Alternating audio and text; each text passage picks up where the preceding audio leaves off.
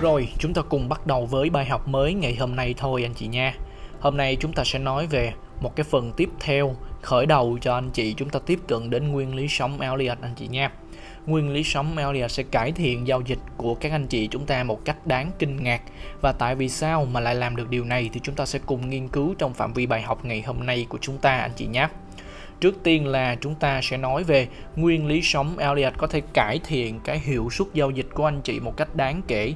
À, nếu anh chị để ý kỹ trong những cái phương pháp nghiên cứu kỹ thuật truyền thống nó không còn đạt những cái kết quả mong muốn của anh chị thì nguyên lý sống Elliott có thể giúp cho anh chị hiển thị các mục tiêu mà tại đó giá có thể chạm để được với xác suất cao. Ngoài ra còn có khả năng phân biệt giữa những cái thiết lập giao dịch tiềm năng với những cái điểm phân tích mà anh chị đang thực hiện và anh chị tìm ra được những cái vị thế, những cái thiết lập giao dịch không tiềm năng. Nói cách khác, chúng ta định hình được mục tiêu giá với xác suất cao và chúng ta biết được đâu là thiết lập xác suất cao và đâu là thiết lập xác suất thấp để chúng ta tránh. Trong trường hợp mà anh chị nghiên cứu về kỹ thuật nó không thành công thì anh chị sẽ thường xuyên gặp ba loại mà anh chị đang nghiên cứu chính. Thứ nhất là chỉ báo theo xu hướng, chỉ báo dao động và chỉ báo sentiment, tâm lý. Tất cả những cái chỉ báo xu hướng nó bao gồm những đường trung bình động chẳng hạn MACD và ADX cũng như là những chỉ báo dao động anh chị có thể rất là thường xuyên gặp như là RSI, CCI, vân vân. Cùng với những cái chỉ báo về cảm tính, về tâm lý nó cũng có thể thể hiện cho anh chị thấy. Tuy nhiên là giờ đây có thể với anh chị nghiên cứu nó không thành công bởi vì như đã nói phần bên trên nó không còn đạt được những kết quả mong muốn và tại sao như vậy chúng ta sẽ cùng xem phần tiếp theo anh chị nhé. Mặc dù các nghiên cứu về kỹ thuật nó có thể cung cấp cho anh chị những cái thông tin cũng hữu ích Tuy nhiên là nó có một cái sự hạn chế anh chị chúng ta phải biết được cái sự hạn chế đó là gì. Sự hạn chế nó sẽ làm cho anh chị bị hạn chế về sự hiểu biết với tư cách là một nhà phân tích thị trường. Hành động giá của nó và mối quan hệ của nó thể hiện trên bức tranh nó làm cho anh chị bị hạn chế. Giả sử trong trường hợp chỉ số MACD dương hoặc là tạo ra một số cái divergence những cái sự à, những cái sự phân kỳ anh chị nhé cho một cái cổ phiếu ABC chẳng hạn nhưng tất cả những gì nó mang lại cho anh chị chỉ là biết, đó tiềm năng cho một xu hướng tăng. Nhưng nó sẽ không thể nào cung cấp cho anh chị đủ những thông tin để trả lời những câu hỏi quan trọng rằng liệu đây có phải là một xu hướng mới, hay đó vẫn chính là sự tiếp tục của xu hướng hiện tại, hay liệu xu hướng này có thể tiếp tục đi bao nhiêu xa, hay là nó chuẩn bị kết thúc. Liệu thiết lập này, giao dịch này có uy tín? Liệu thiết lập này, giao dịch này có xác suất cao hay xác suất thấp? Nó không trả lời được. Ngược lại, nguyên lý sống không chỉ giúp anh chị xác định được cái sự phát triển, sự trưởng thành từng bước của xu hướng mà nó sẽ cung cấp cho anh chị từng cái mục tiêu giá có thể xác định được với xác suất cao. Sự kết hợp giữa cái khả năng dự đoán và hiểu biết sâu sắc về hành động giá sẽ là một trong những điểm mạnh của nguyên lý sống Elliot, giúp cho anh chị hỗ trợ cái việc giao dịch của anh chị phát triển lên một cái tầm cao mới anh chị nhé. Và ngoài ra, nguyên lý sống Elliot giúp cho anh chị xác định được xu hướng. Tại sao vậy anh chị? Cái điều quan trọng nhất, chúng ta xác định được xu hướng đó là chúng ta sẽ giao dịch theo xu hướng là một trong những cái trường phái rất lớn trên hiện nay, trên thế giới hiện nay. Nguyên lý sống giúp cho anh chị xác định được hướng của xu hướng chính của anh chị đang là tăng hay là giảm và ngược lại. Thông tin này nó mang một ý nghĩa cực kỳ quan trọng cho anh chị, bởi vì khi anh chị đã giao dịch với xu hướng chính, mọi thứ sẽ dễ dàng hơn. Đó là con đường ít trở ngại nhất và chắc chắn nó cũng giải thuyết được cái câu nói, nó giải thích được cái câu nói anh chị hay nghe, the trend is your friend. Nói một cách đơn giản, khả năng thành công cho giao dịch. Trong giao dịch của anh chị sẽ tăng lên rất nhiều khi anh chị biết được một mã là DGA tăng giá, hoặc là Nasdaq tăng giá, vân vân, anh chị nhé. Nguyên lý sống, ngoài ra, đã xác định được xu hướng chính thì nó cũng xác định được chuyển động ngược xu hướng chính các chuyển động ngược xu hướng chính thường xuyên xuất hiện với mô hình three-way pattern là một trong những phản ứng điều chỉnh lại, chống lại cái sự phát triển của một cái impulse way trước đó. Biết rằng cái biến động giá gần đây chỉ là một cái sự hiệu chỉnh trong một cái thị trường có xu hướng lớn hơn là tăng giá là một điều cực kỳ quan trọng với những nhà phân tích. Bởi vì sự điều chỉnh này, nói cách khác sự chống lại xu hướng này, giúp cho anh chị chúng ta biết được đây là một cơ hội để anh chị định vị cái vị thế của anh chị mình, là mua hay là bán. Và hiển nhiên với một xu hướng chính ở cấp độ lớn hơn là tăng thì chuyển động hiện tại chính là ngược xu hướng chính.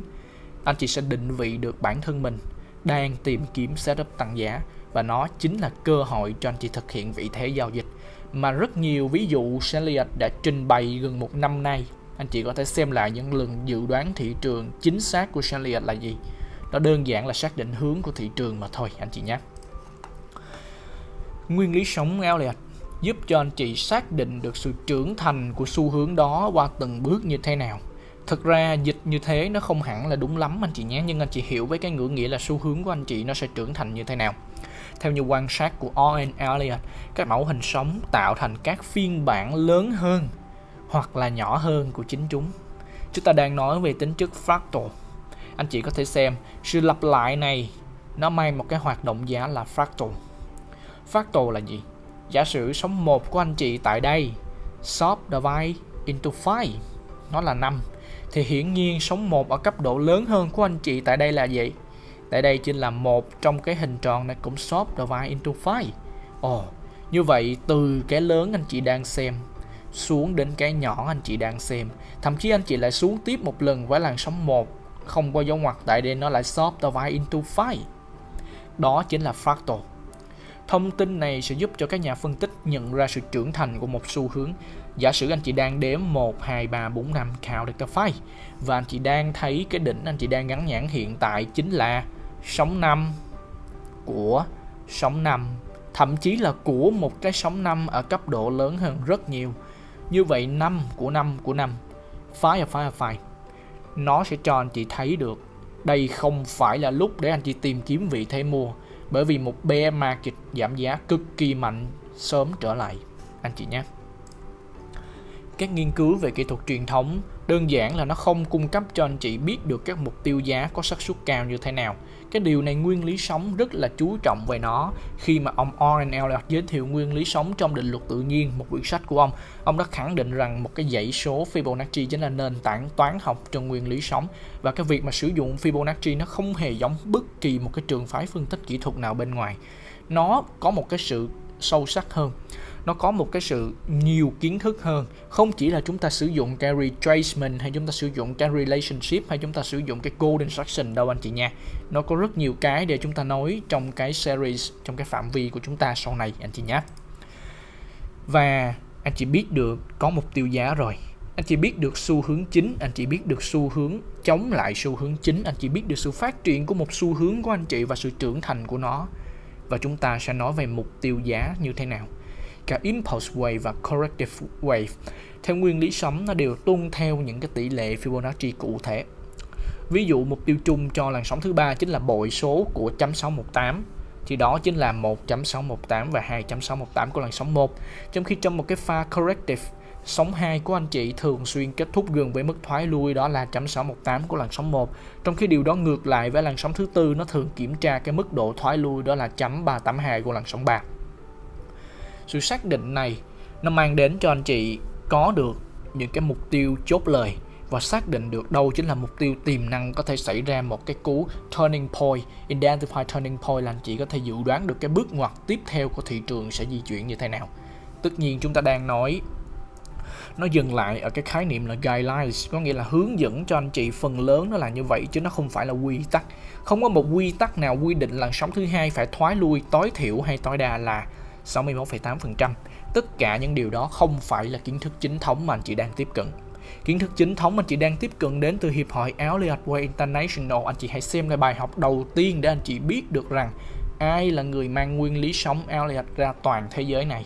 Và tại sao Hiệp hội lại có những phân tích chính xác một cách ghê gớm đến như vậy. Nếu anh chị đã là hội viên của Hiệp hội thì anh chị sẽ thấy những cái phân tích của họ có một cái sự chính xác ghê gớm cực kỳ cao anh chị nha và ok, chúng ta cùng đi tiếp xem. Đây là một số mục tiêu giá mà anh chị có thể xem thấy trên biểu đồ của chúng ta. À, anh chị có thể xem qua.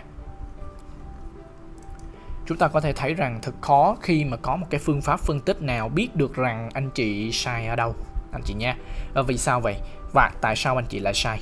Và giả sử khi anh chị sai rồi, anh chị có biết mình sai hay không và anh chị có biết được chuyện gì đang xảy ra phía đằng sau?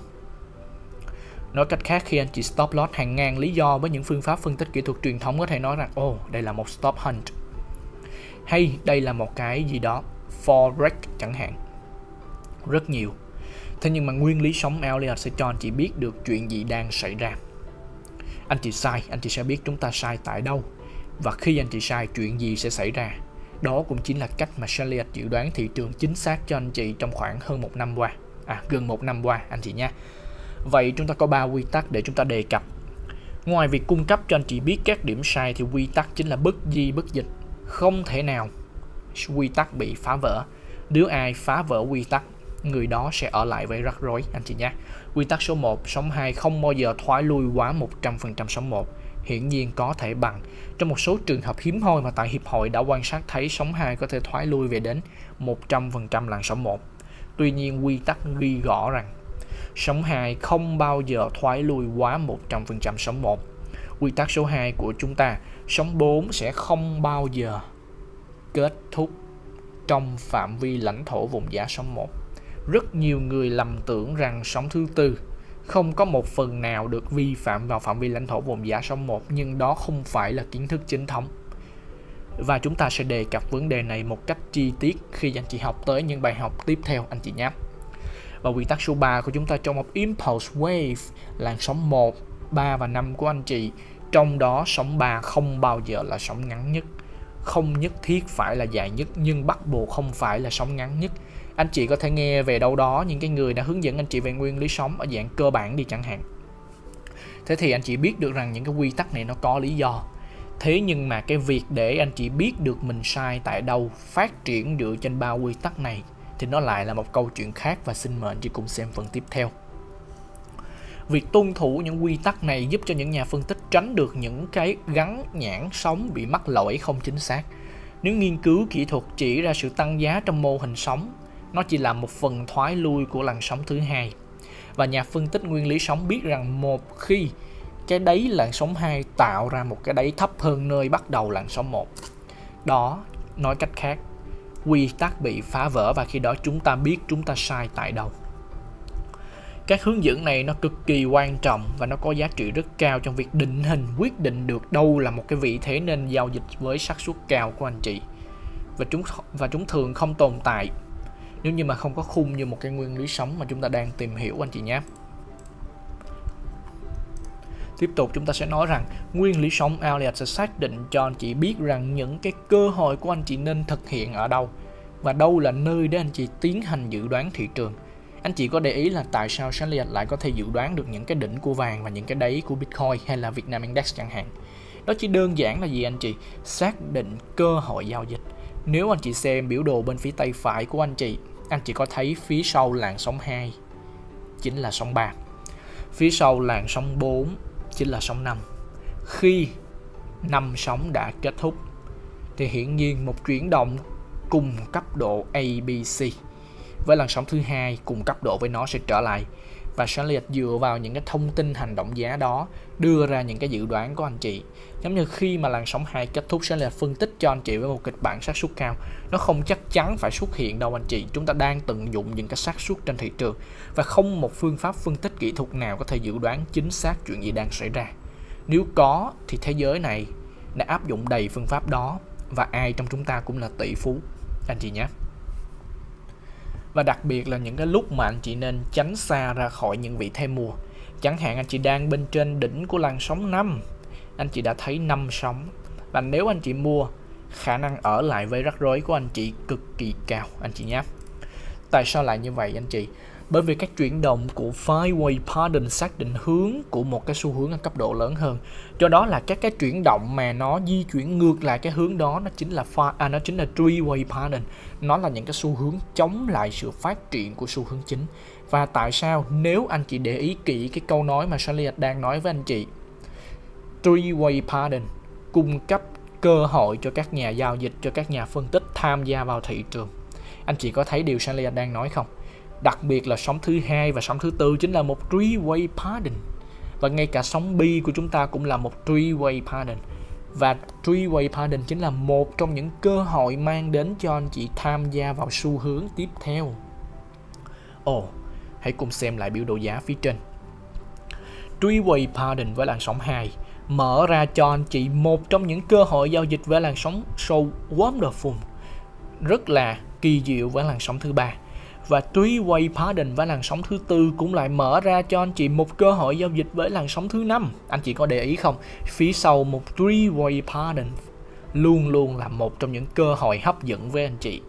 Ngay cả làn sóng B tại đây của anh chị cũng là một three way pardon anh chị nhà là một mô hình ba sóng à, sorry anh chị nha Shanlia sẽ sử dụng một số các thuật ngữ chuyên ngành. Bởi vì trong cái quá trình học nhiều năm nó có cái tính học thuật rất cao trong từng cái ngữ nghĩa của nó. Cho nên là anh chị nên học những cái thuật ngữ nó nó không nhiều đâu anh chị nha. Nhưng mà anh chị nên gọi là học về những cái thuật ngữ đó để anh chị có thể trao đổi với tất cả những bạn bè chúng ta hay là những bạn bè quốc tế chẳng hạn mà nó không có một cái rào cản ở phía bên dưới anh chị nha. Bởi vì hầu như các kiến thức mà chúng ta dịch sai nó rất là nguy hiểm về cái mặt học thuật cũng như là cái từ ngữ chuyên ngành của nó ám chỉ lên cho nó rất nhiều ý nghĩa mà chúng ta hiểu sai thì chúng ta sẽ không có nắm được kiến thức chính thống anh chị nhé. Cho nên sẽ có một số cái ngôn ngữ thuật ngữ là anh chị nghe giống như là three way pardon thì anh chị có thể hiểu mờ mờ three là ba, mà ba chính là corrective, chính là chính là cái sóng hiệu chỉnh anh chị nhé. Còn five way pardon, five chính là năm nó ám chỉ về một cái hành động năm sống mà trong cái series của chúng ta sẽ nói rất là nhiều những cái thuật ngữ này. Từng bước nó tiến hóa, nó tiến hóa cho đến khi nó hoàn thiện cái thuật ngữ của nó trong series của chúng ta, anh chị nhé.